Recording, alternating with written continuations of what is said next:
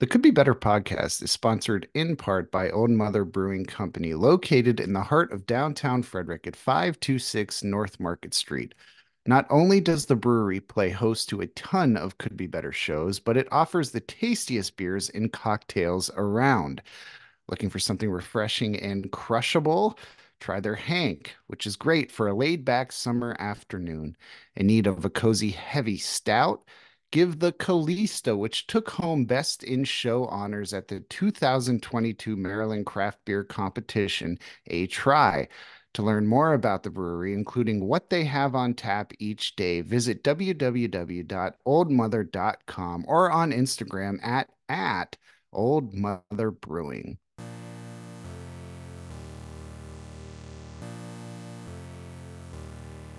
Welcome to the Could Be Better podcast, car edition. I'm here with my commuter in crime, Colin McGuire. Oh, it's a long way down from best friend. Now it's a uh, commuter in crime. It sounds, but uh, sounds cool though, right? Sounds good. Probably sounds better than the microphone. I mean, even I, I tried again to listen to our little manifesto from a couple weeks ago uh, when that popped up on my feed, and, and we're still having the issues. I'm still hiccuping. Hmm. Well, you're not hiccuping now, so good, yeah. good way to go. That you uh, do you believe in the wives' tale that if you drink water through a paper towel, you can immediately lose your hiccups? No, but I'll have to try that. Works for me almost every time. I'll have to try that with my kid because he doesn't like to hiccup. He doesn't. Oh, doesn't like to. Yeah, getting a kid to drink through anything with a paper towel over it. That sounds like a challenge and does not sound fun. yeah, it probably sounds like waterboarding actually, but yeah. Speaking of waterboarding, check out our sister podcast, Serial, where they talk this season about Guantanamo Bay. Um, yeah. So this is this is a fun episode, and uh, you get into talking with J Robbins, who is the um uh, staple in Baltimore punk. Um, and, and we're we're gracious that uh, he got to spend some time with with you and talk about things on this show. And uh, they're they're playing a show literally uh, days from now on June 9th at FAC. And so uh, I'm I'm assuming some of the interview, Colin talked a little bit about that show. Uh very little of it, but yeah, we mentioned that. I asked him if he had played Frederick before. He said he had, as you'll hear. Um, but it was a long time ago, and I think he said nobody showed up. So he's hoping people show up for this. Now, do we think is this a back to our manifesto? Is this a band problem or is this a Frederick problem? Right? Like if if the J Robbins came to lowercase the Frederick of Maryland and nobody showed up, I mean, like what's who's is our promoters terrible? Like what's what's happening here? What's who is the problem? What well, is I Frederick? I don't think. Yeah, we should we should get Declan on. We should. He he uh, is he is in the ranks for next season. Uh, I don't think he came as J Robbins. I think this was before he was J Robbins in a different band. I think the the name of this. It was, I think he said it might have been his first band even. Uh, so forever and ever ago. I think the name of the band was Samuel Powers, but I'm not sure. No, but he he uh, came and said he said he's uh, kept an eye. I mean, everybody will hear this if they stick around, but he's kept an eye on Frederick uh, with a lot of cool stuff going on. He says a lot of nice things about Frederick. Um, and he's wanted to get up to Frederick uh, to play. So he's going to have that chance this weekend. Is that a Sunday? It's Is a Sunday night. Yeah, yeah. yeah. Uh, we we are all going to go to church like good boys, and then uh, change out of our khaki slacks, and then go right to FAC to load in uh, for the show, and it's going to be a blast. Um, are you going? Could, could be better be as running sound, sir. Aha. So you so, are you are running sound. Yeah, so I will be there. Uh, uh, my buddy Dylan will be there. My buddy Spencer will be there. It will be a party. I'm just hoping to get upgraded to buddy. You know? No, no, no. Commuter and crime, way higher than buddy. That's, oh man. Because yeah, that means I, we're that means we're cellmates. That's Sailmates, Soulmates, Sailmates. Do you know? Uh, six years ago today, Double Motorcycle recorded the second album. Today, June third. Uh, I guess this month. It's in a couple, but I was it popped up in my memories. That's the only reason I'm I'm bringing that up. But nobody cares about that. What they care about is J Robbins. I absolute do. legend. He's an absolute legend. Uh, local legend. You will hear. I think. Uh, there's an excerpt of our conversation that appears in the newspaper. Uh, that will, I think, drop the same day this episode drops. So how's that for synergy? You're welcome, Arts Council. Uh, I think I I think I might have asked six questions in a matter of an hour. Like that might have been it. He's a he's a he's got a lot of stuff to say, a lot of interesting stuff to say. I hope people listen to him. And I hope people listen to the song Evil by Devil Motorcycle. Everywhere you can find music, it is there.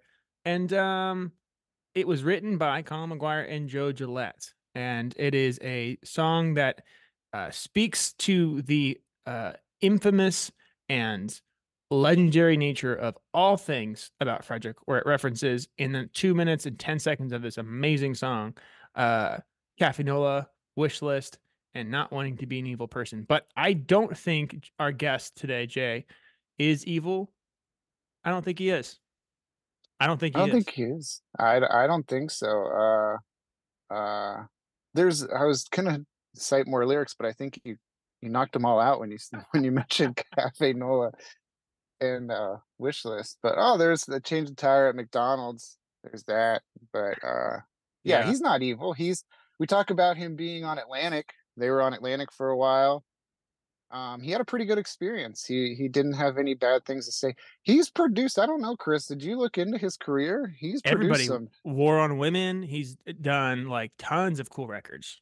Yeah, he did Promise Ring Records. He works. well, He you know when he talked about Frederick, he's talking about Clutch a little bit. Works with them. Um, mewithoutYou did some mewithoutYou records. So Whoa. Uh, shout out to the Timberwolves. They did a uh, mewithoutYou cover, and Marcus sang every single word. look at that. Mhm. If only anybody in that band talked to me anymore. Wait, I could. thought you were going to say if anybody in that band had people come out and watch them anymore, because that's also what happened on Friday. That was tough. but Friday nights are hard, guys. Friday nights are hard. Um, know. but I mean, like, yeah, I'm. I don't see. Does he? I don't even see a disc. Anyway, it doesn't. Okay, I'm looking here. Ponytail, clutch, jets to Brazil. Hey Mercedes, Dismemberment plan. Dis- dismemberment plan, the promise Yeah. ring, uh, jawbreaker, against me, modern life is war, murder by death, mewithoutYou. I didn't know he did anything with Lemuria. That's awesome. Caustic Yeah. Casanova. Look at that. Frederick people. He did the sword. That rules. And um that's that's amazing. Well, anyway, so I, I I'm excited to listen to this. Um this interview. I'm excited for Jay to come to Frederick. Uh, shout out to the band uh, Gaspers, who's going to be on our our season finale next week. So if you came to the show, found out about the podcast, uh, wait until this upcoming Thursday, which would be uh, none other day than June the 13th, where we will have our Uh-huh. final episode and we'll have a bootleg edition of when Gaspers played at Olde Mother. And it's it's probably my favorite bootleg uh, Dylan has ever done. So I'm very excited. Now, um, hope to see you all this Sunday, June 9th, um, at FAC for some Gaspers, some J Robbins, and I believe it's oh, I forget the other name of the band. Uh, they have a really cool long name that's really hard to remember. Oh crap. Jackie and the Treehorns. I think that's it. Yeah, Um, it's something like that. Yeah. yeah, very excited because their their sound is really cool, and I like doing. I like being in that room. Rest in peace, FAC having a cool spot. And uh, this is our interview with uh, Colin's interview with Jay. Are you in a band in need of merch to hustle or entice your fans who won't buy your latest album? How about a business simply looking to spread the word about your brand that you want to be the next goopy lifestyle movement? Special Tees in Frederick is the place for you. Supporting local artists, businesses, and really everything else in between. Special Tees is the premier printing shop for anyone trying to expand their presence through pretty much everything that can be worn. And yes, even that. Be it embroidery, apparel, or promo products, Special Tees make sure your designs stand above the rest, sort of like The Undertaker versus Yokozuna at WrestleMania 9. Tell them Could Be Better sent you and get 10% off your first order today. To learn more, Visit them online at www.special-tees.com. That is www.special-tees.com. So you say you want to be a rock and roll star? It's easy. Well, kind of. Just visit the Frederick Let There Be Rock School in Frederick, Maryland to get your superstar dreams off the ground with your first lesson free if you tell them Could Be Better sent you. That's right, free. F R E D E R I C K. In addition to offering lessons on everything from voice to guitar, Let There Be Rock School in Frederick also provides students with opportunities to perform live and on a stage in front of a crowd as part of the school's showcase of events, including at Olde Mother Brewing Company. To learn more about the school and all the things that they have to offer, visit www.frederickrockschool.com. And again, if you tell them could be better sent you, you'll get your first lesson free. F R E E. Superstardom, or at least getting better at playing Take Me Out by Franz Ferdinand is right around the corner. Um, so I, I kind of thought I'd start here. Have you played Frederick before? Um, I think the last time I played a show in Frederick uh, was maybe like 20, it was over 20 years ago. Wow. Um, and it wasn't. Uh, it was not a particularly auspicious show. so. Uh, well, can, what does that mean? Can you go into detail on that? no, no. It just was. Um, it was in my, uh, my, my old band, Burning Airlines. I remember playing a show in Frederick. Um, that just was sort of like, you know, nobody really came out kind of deal. It sort of seemed like 20 years ago. I think um, I mean, I just feel like I hear way more now about you know things happening in Frederick, and I know people who live there who are making music, and I mean, you know, in the interim, like since that, that might be the only time I played in Frederick, I think. Hmm. Um, but you know, since that show, I mean, I have sort of tuned in a lot more to things that were happening there, and you know, I did studio work with Clutch, so for a while I was, you know, I spent a couple weeks going back and forth doing pre-production with them. That would have been maybe well, a while ago now. But anyway, so so I sort of have kind of got my my um, got a much better sense of what's going on there. Hmm. So. Um, and it seems like it's, it's a much it's a very different place than it than it was for, for you know as far as having a kind of scene. Yeah. Yeah. Are, are you bringing the band or is this a solo show? It's this is the whole band. Okay, cool. And I, I was I was looking on your site earlier and I saw that you were you kind of have a smattering of dates out there. Um, is is touring something big this year for you? I know you have a new record out I want to talk about in a second, but are do you guys have a lot of a, a lot of dates coming up? I saw a handful, but not many. Yeah, I, am well. Uh, I put the record out in February, and the context for that is that it's my second solo record, and the first one that I put out, I put out in 2019, um, and it came out um, pretty much right around exactly around the time that my old band Jawbox was doing reunion shows. Mm-hmm. So in 2019, Jawbox did a fairly extensive reunion tour, and um, you know, I was able to take the record, my record, with me, and sort of put it on the merch table. But I didn't get a chance to go and actually play those songs in front of people after the record came out. Just I did just a very small handful of shows, and then COVID happened. Mm-hmm and um, and I was super proud of the record, and you know, I sort of did what I could, and you know, once things started opening up again, I started playing a little bit more. But I sort of had the feeling that this record, that that first record, sort of went out into the world and just kind of, you know, I mean, a lot of, you know, it's not like I'm well. How can I, how can I say this? Um, I'm not aiming for world domination here, but I sort of felt like, oh, I didn't really get a chance to to stand behind this thing that I made, and so I thought that, um, you know, this time around, since you know then, but now my second one came out in February, I was just like, well, I'm not gonna miss an opportunity to go play these songs in front of people.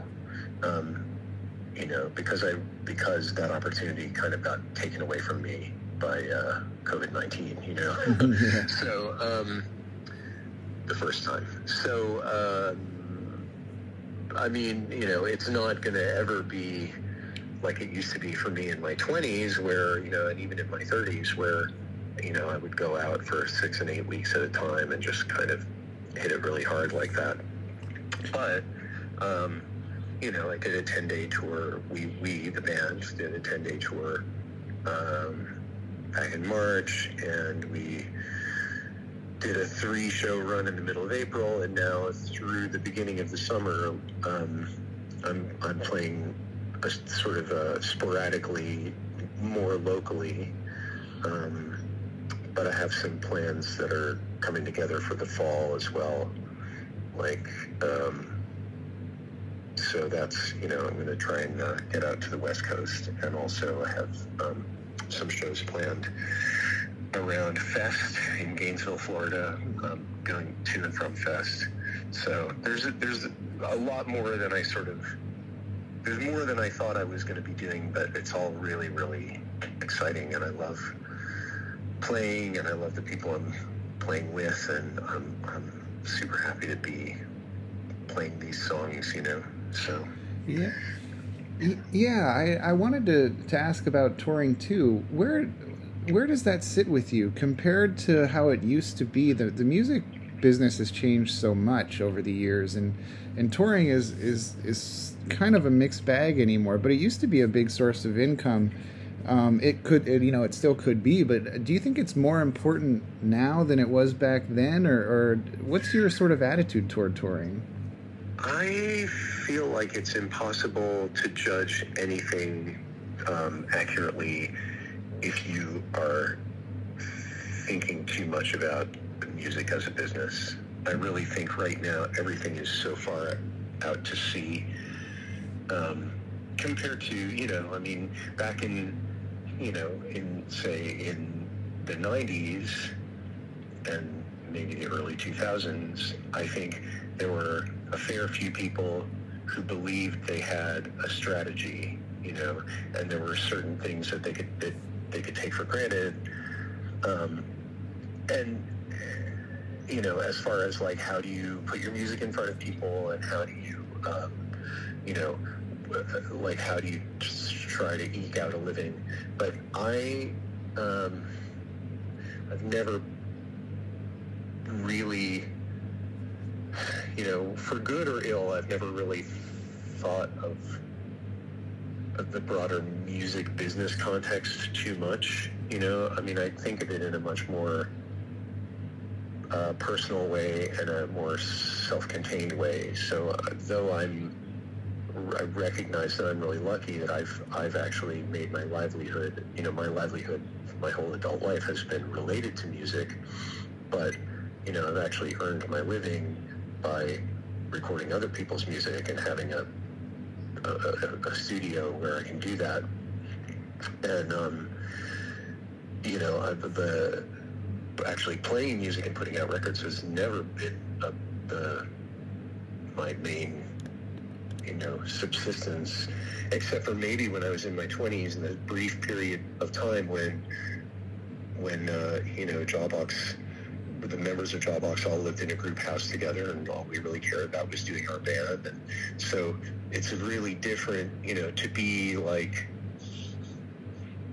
a real, you know, to be older and have, um, you know, an older person's responsibilities and a, and a sense of, you know, kind of having having higher stakes somewhat. You know, when you're younger, you can just kind of go out and throw yourself at it. And if things don't work out the way you planned, you just sort of go into it assuming that you're going to bounce back somehow, right? And mm-hmm. um, so I feel like on a personal level, you know, it's like I'm getting older and I, I, I, I have this, this sense of urgency that I want to do this while I can still do it, you know? Mm-hmm but I also have a sense of being very conscious of the stakes.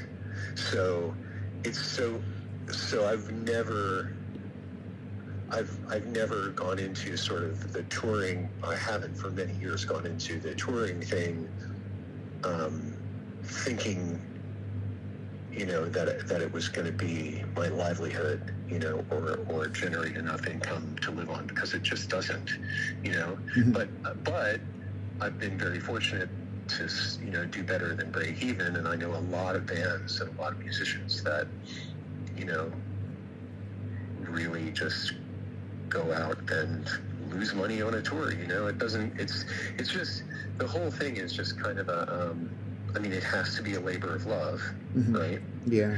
And and no one.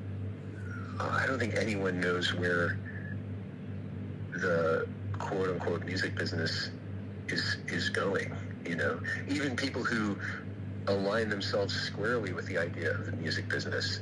You know, people who run labels and stuff. I don't think they, I don't think they've ever known, but they they controlled the architecture in the past, right? Mm-hmm. Um, but now uh, everybody is just sort of, I think, I think, uh, just kind of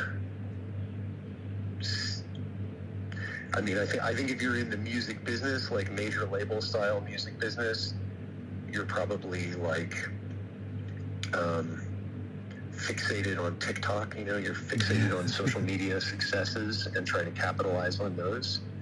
And otherwise, I think, you know, I mean, I can't speak for anybody else, but for me, I just, it's all, it's very much about first principles. Like, I need to create music in, in order to feel like a whole person, you know, yeah, and it's and it's a vehicle to connect with other people and communicate. And so, a big part of that for me is just being, you know, being with people in a room and trying to share a moment with them and and be present. And you know, it's not so much about creating a product and selling it at all. Really, it's it's just about this kind of exchange of energy and I want to keep it going. And and I think like this is a thing that um, sort of is in danger of somewhat I can't tell, but in, it, sometimes I think it's it's really in danger of getting lost. Like that sense of like you're making music to connect with other people in in in some kind of real way in a real moment in a three-dimensional space together you know mm-hmm. because things are so disconnected now um, because they're so quote unquote connected you know via the internet you know they're connected in a virtual way that like the the um, I wonder if we're going to gradually lose that sense of the importance of being in a room with other people, you know. So, but so though all those things are, are just that's kind of getting to my motivation really, and um, so I do think it's it's it it's a lot different in a lot of ways because for me, well, yeah, but it's also hard to tell. it's also hard to tell. I think you know there are. I mean, I know I have friends who have who are old enough to have kids who are now old enough to be in bands, and I can think of a couple people whose kids, couple couple people I know whose kids have actually gone on tour and had these really great tours that, that make it seem like there's a thriving independent network that wants to sort of keep keep the dream alive, so to speak, right? Mm-hmm. But from my perspective, it's it's just being older, it's maybe harder to tap into that because a certain number of people always age out of this idea of a underground. You know, to some degree they do.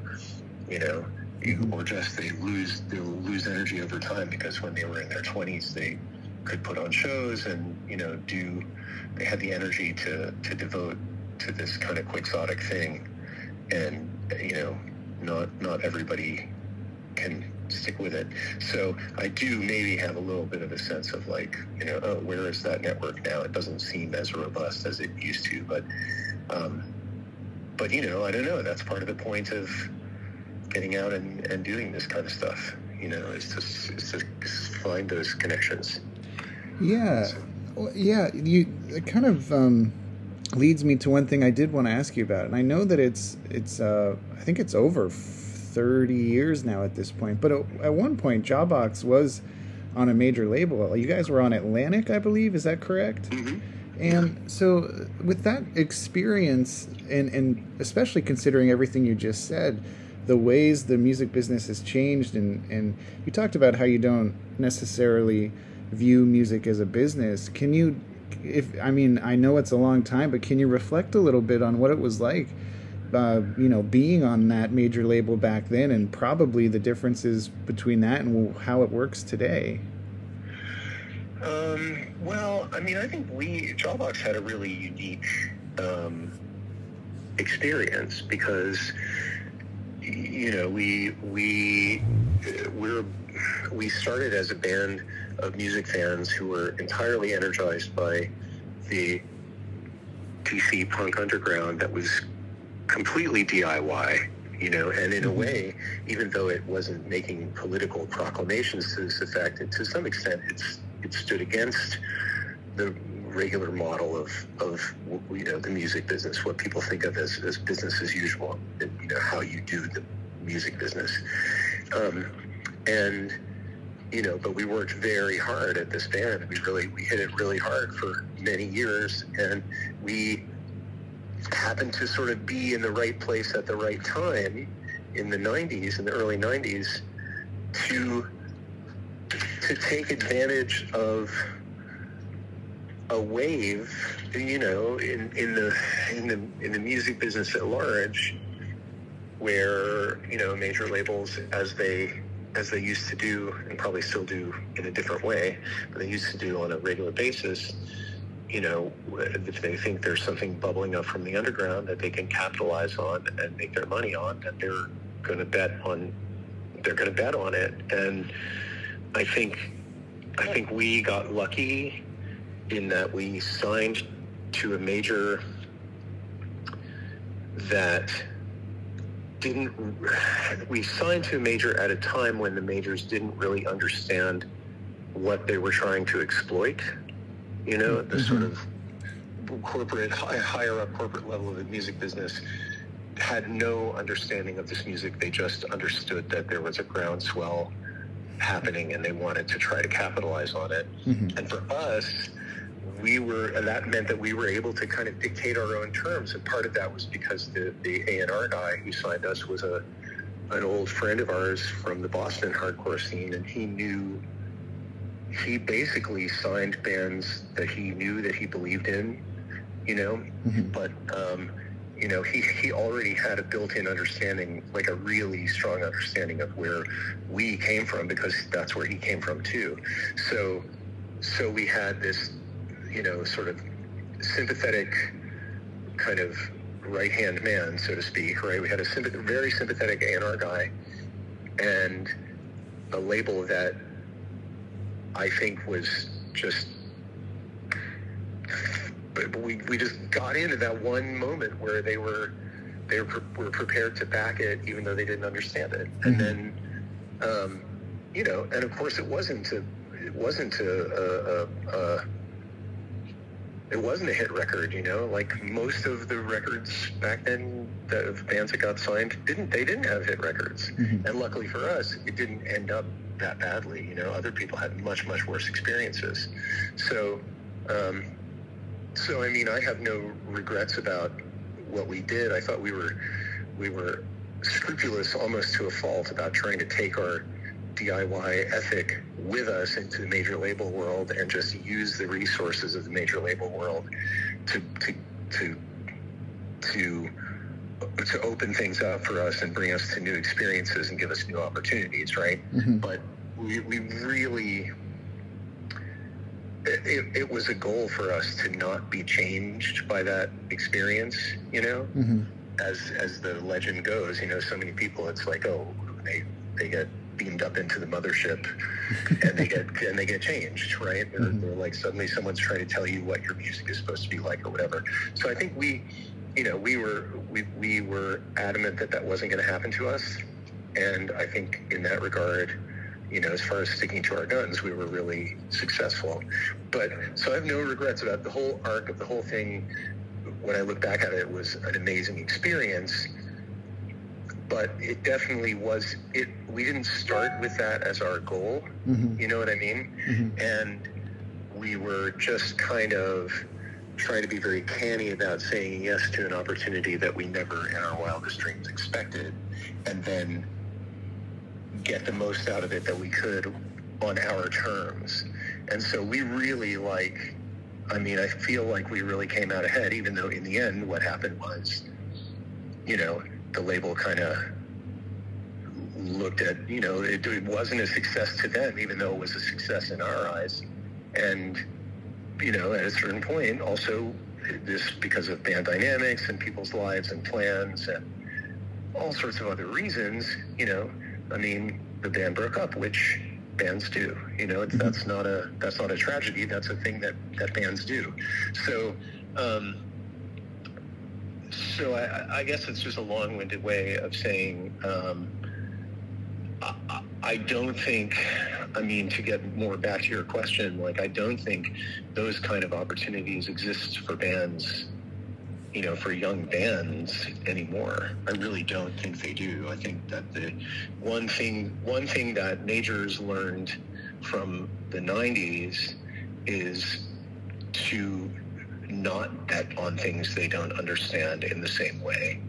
And you know, if they're if they're going to bet on anything, it, they are going to bet on something that's already massively successful without them and so, you know, and for me, what I learned is I am much, much happier on a small scale working with my friends. You know, I'm very fortunate that I was able to come back from that Atlantic Records experience and, you know, and feel like I had never lost that connection to the, uh, to the scene that I came from, you know. Mm-hmm and because everything in that in that it, it, every you know everything that Jawbox did and everything that I've done has really grown you know out of friendships and this much more grassroots and um, you know it's that's why I say it's not a business you know it's like like it's we like we live in late capitalism so you have to have a business you have to be able to put on a business head at times about certain things. But like, if you if you're thinking of everything as a business from the get go, I think that's a problem. And uh, but anyway, so I was just lucky that I was able to like kind of come home, and that you know I've been able to keep making music with people that I love, and that I have. Um, have had the support of Dischord Records, which, I mean, for me, there's no other label that I would want to be on. You know, mm-hmm. like it, it's that's the lesson that I sort of learned from the from the Atlantic thing is that I was initially right to not want to get um, involved in this sort of you know uh, skyscraper dwelling, cigar chomping side of the music industry, you know? Yeah. So, uh, so that's that's i mean i don't know if that answers your question or not no yeah it, it does it's kind of interesting though because you talked to use the word groundswell especially about stuff 30 years ago and there there was especially in the 90s you had you had grunge you had that movement you had even there was a, brief moment for ska music and and all of that. And uh, labels kind of gobbled up major labels gobbled up a lot of those bands for a cup of coffee and then that was it. And i kind of wonder these days if the if the equivalent of that in a very sort of watered down way is like major labels are drawn to viral videos now. They're they're drawn to sort of these the the the song the hook the 30 seconds the 45 second thing. Um, does that you know is that worrisome to you in terms of and I hate to be too precious about music and real music and all that stuff but really though it does that kind of push out the ability for for genres like you know the DIY scene or or the grunge scene or the ska scene even swing like whichever you want to take like the real music is that even possible to have happen anymore because the focus is on what sells so quick well but I think, but uh, yes, I think it's possible. But I think that it's like the difference is that, um, it. I think, I think that. I think that we do better the less we think about economies of scale. You know, mm-hmm. like, yeah. like it's sort of like when you're. I mean, I remember I used to make fun of this all the time, and I have loads of friends who completely get this too. And you know, like it's, it's like a, it's when, you know, like when I was in my teens and twenties, and I started going on tour with bands. You know, there's always certain relatives that you have who have and for some people it's your whole family right and like yeah. for my for me it's my whole family like your, your family has no concept of what this underground scene is about, you know, what it is mm-hmm. that's energizing you. So they just go, oh, that's nice. When are you going to be on TV? When are you, are you famous yet? Are you a rock star yet? You know what I mean? Yeah.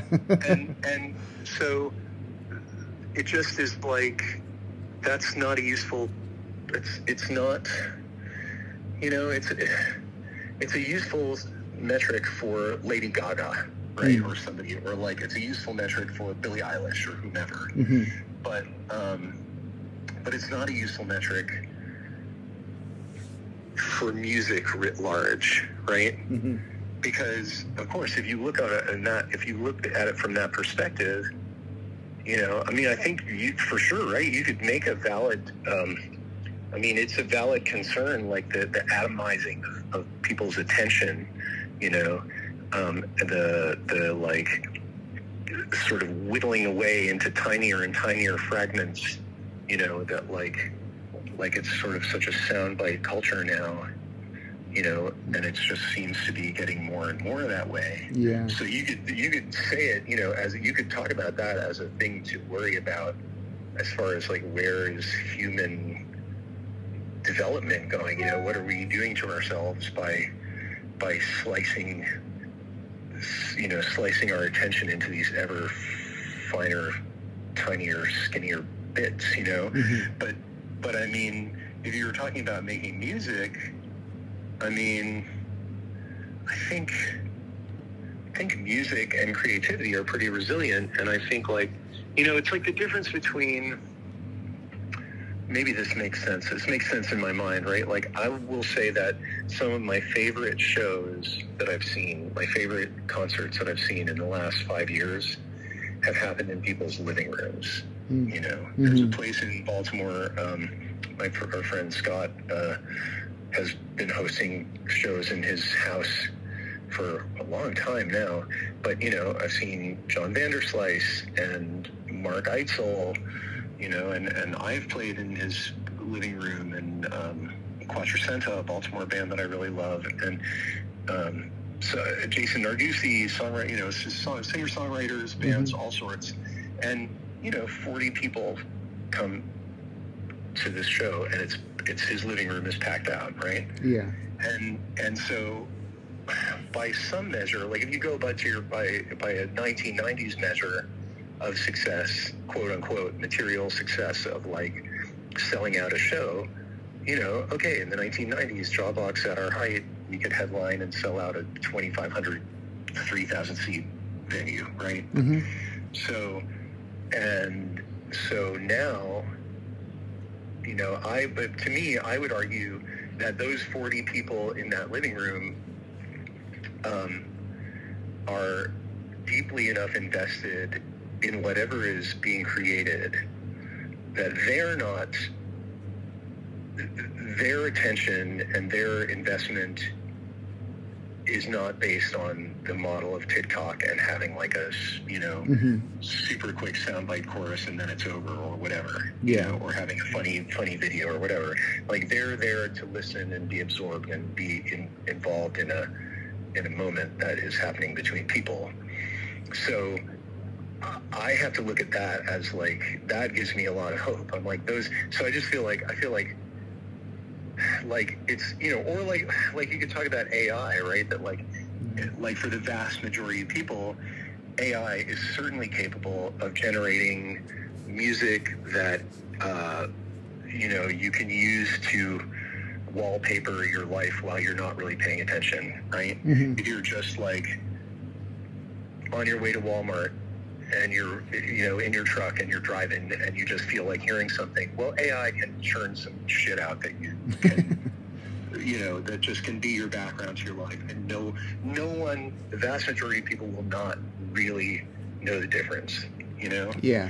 But but there are always going to be there's always going to be someone who knows the difference and someone who actually cares about like an actual person trying to make a connection through music, which is such a like you know, I mean, music is a language, right? It's not a product; it's a language.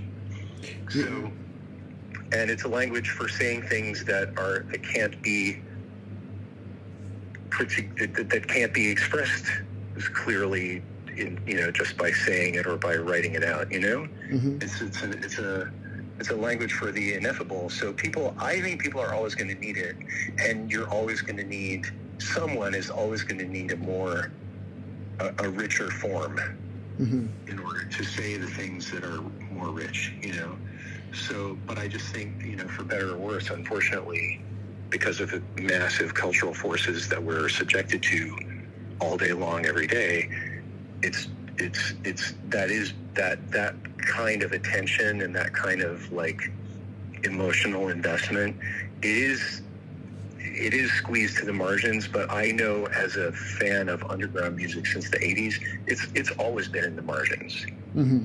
You know. Yeah. So it's just that maybe the margins are getting smaller or feeling more separated because, uh, you know, just the way the world is now or whatever. But I, I, I just think, you know, like it, it, it's always been there. There's never not going to be weirdos. you know? so, um, which is a thought that I take a lot of comfort from. Yeah, so. yeah, yeah, definitely. I, I agree with that. I agree with that. Um, real quick, I wanted to, to switch over. I don't want to take up too much of your time. I feel like I've already done that, but no, sorry, I'm sorry. I could really talk. I know I'm just like blah blah blah. blah no, so I apologize. It's it's all good. But one one thing I wanted to to talk about was, of course, and you referenced it before, was was unbecoming, uh, which was your first full length that came out uh, only a handful of years ago. And my only question about it was, why did it take you so long to release a full length? Uh, well, because it's just like a mental, like an like an attitude change. Well, no, there's a lot of reasons actually. There, there are really too many reasons to name. I mean, no, well, just because. I mean, part of it is like an internal thing, like, like, um, it's taken me it took me a very very long time to kind of be ready to assume responsibility for the material that I was making. Mm-hmm. You know, like I tend, I've tended in the past always to want to uh, hide behind the identity of a band, but like, I mean, I feel, I mean, collaboration is really important, but, um, oh wow, there's a deer in my front yard. Cool.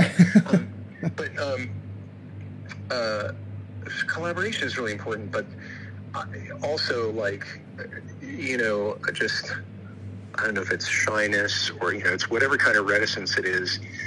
Um, it, it it's always been about having a band, putting a band together, and and um, the creating an entity that that is the band.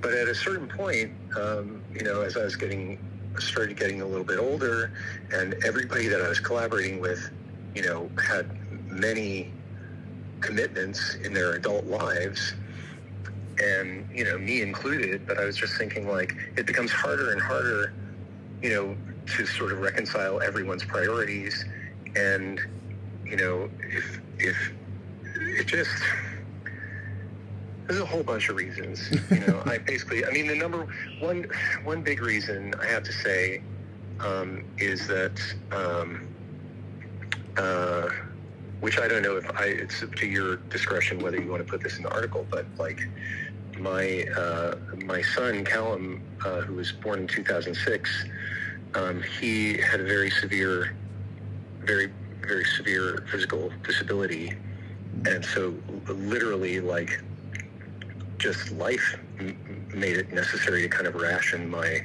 music mm.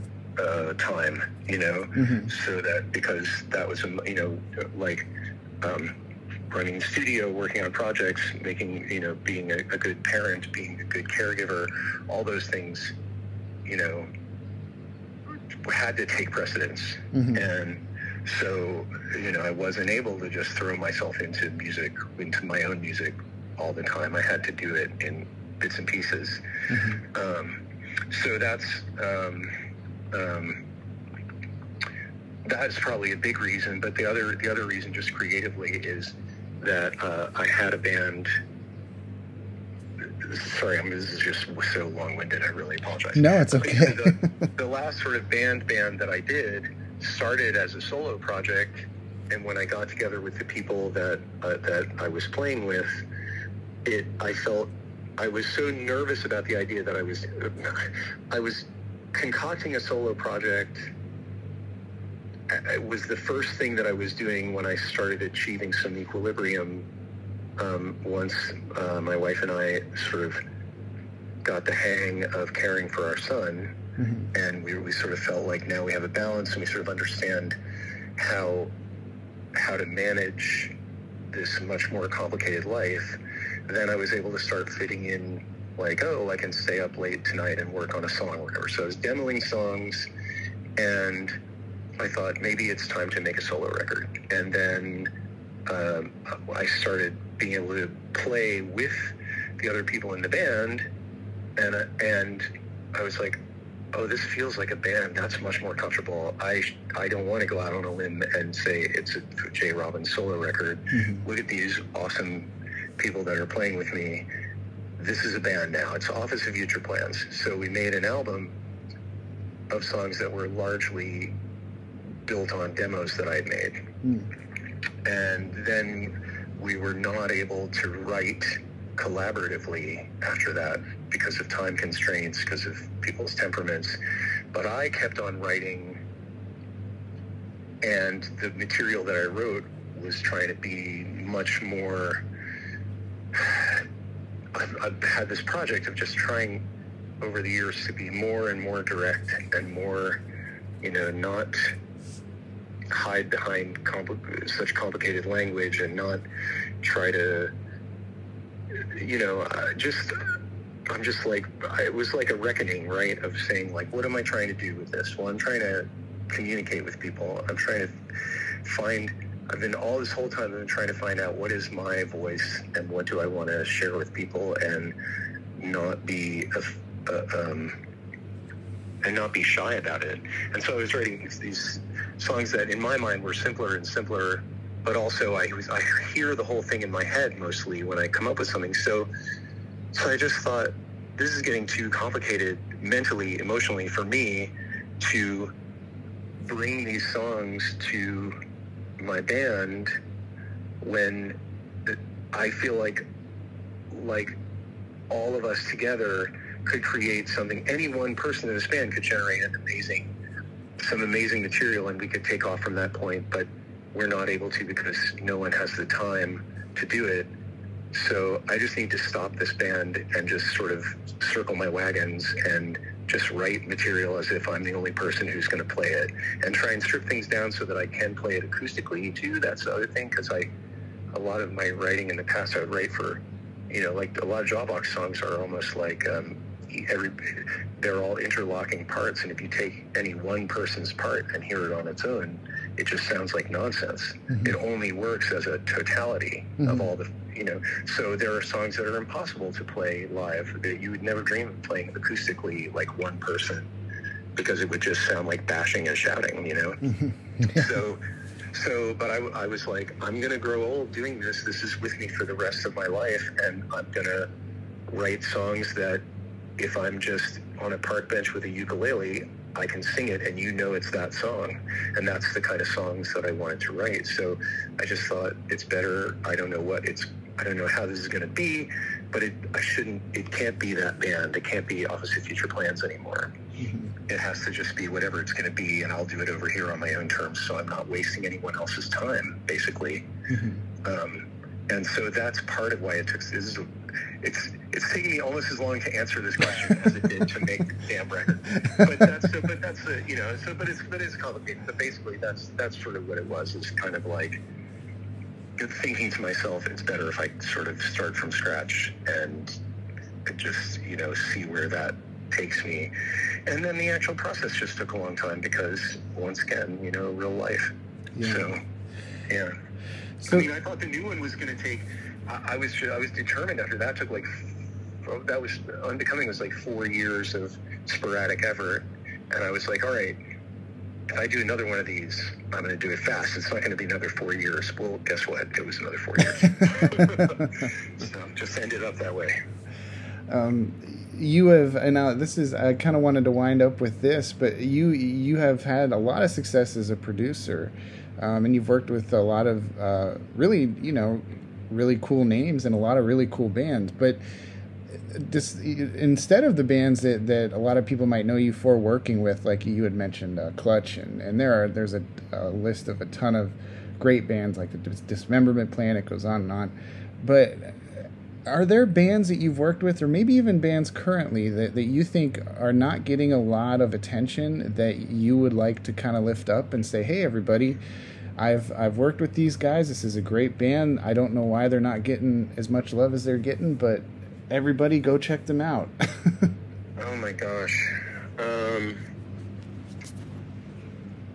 I mean, you know, if I think about it that way, it's like every band.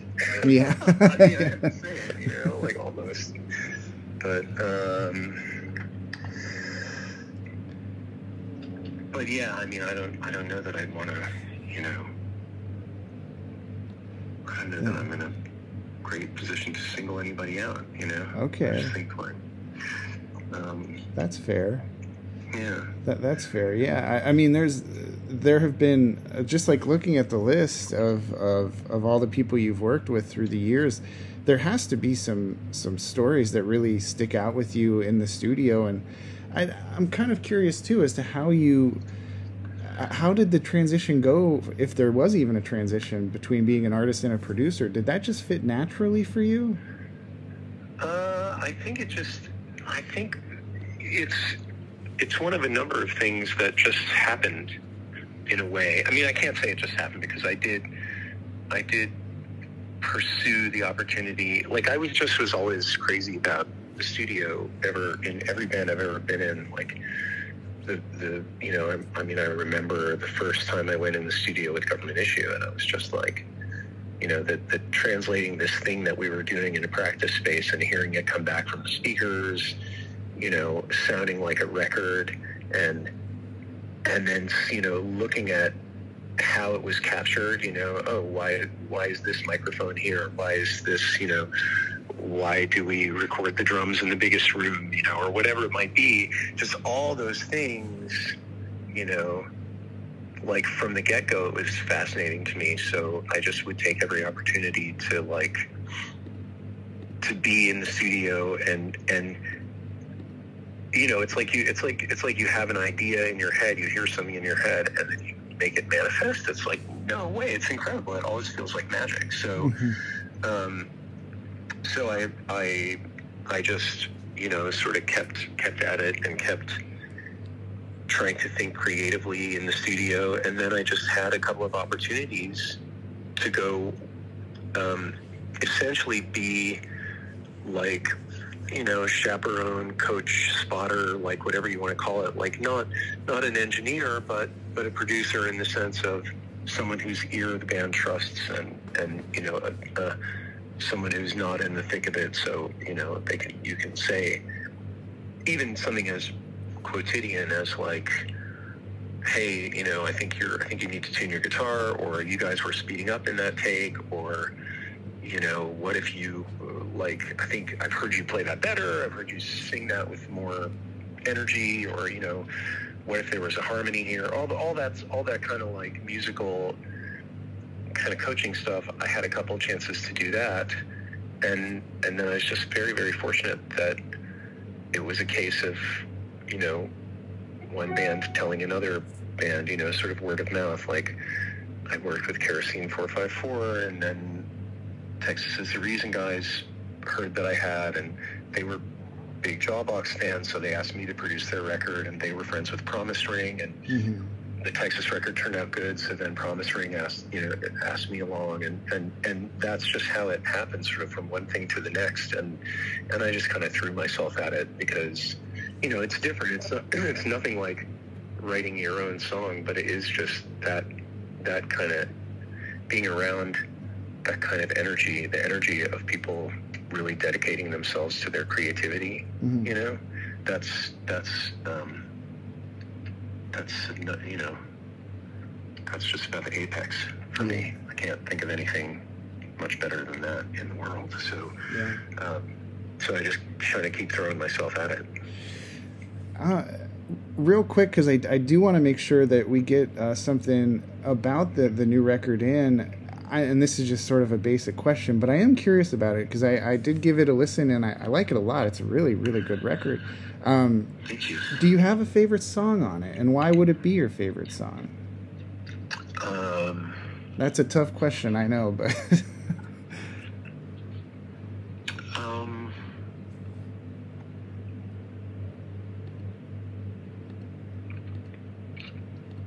I don't think I do have a favorite song on it. you love them all equally. That's not very helpful, but it's you know, I mean, I I don't I don't think I do have a favorite song. Okay, that's that that no, that's fair. That's fair. Um, yeah, that that's all I got. I'm I'm really uh, sorry for taking so much of your time. I feel bad, man. no, I'm the one who can't. I'm the one who can't shut up. So thank you for your patience. yeah, good good luck with the new record, and um, and we look forward to you coming to Frederick. It, it should be a fun night.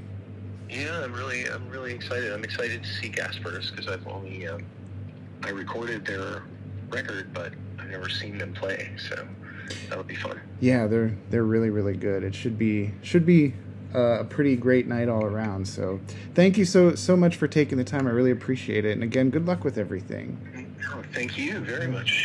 Have Take a good. Easy. You too. Bye. Bye. The Could Be Better podcast is recorded somewhere with suspect Wi Fi in the United States of America. We've been without a studio for several decades, but have finally, finally moved to the real estate where the talks tick and the West's yay. What? Actually, we're, we're live now, now, but you're listening later. So please follow us on Instagram, Facebook, Threads, and Blue Sky. And don't forget to check out our website for literally everything else at www.couldbebettermeh.com. Also, pretty, pretty, pretty, pretty please leave us a review on Apple Podcasts, Overcast, Spotify, or wherever you listen to podcasts. Or don't, and then let us continue believing what we're doing has purpose and meaning, and you like us. And plus, don't forget to check out all of our other podcasts exclusively within the Could Be Better Podcast Network, which includes just us for right now, as the other pods be sleeping. Hey, shout to Kiki, shout to Stitch, shout to my magnum opus ish. And hell, if all else fails, check out Smartless because we were friends with Jason, Will, and Sean. Wait, we know those guys? Of course. we welcome to Arrested Development. I'm Colin McGuire. And I'm Chris Perry. Thanks for listening, and don't forget this always could be better.